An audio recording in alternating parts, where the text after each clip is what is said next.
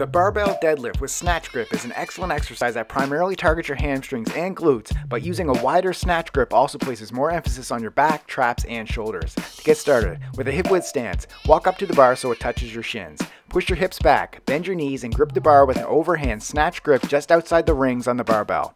While maintaining a flat back with your chest up, push your feet through the ground, lift the bar, and keep it close to your body throughout the movement. Straighten your legs and move your hips forward at the top of the lift to fully contract your glutes and hamstrings. Reverse the movement to lower the bar back to the floor and repeat.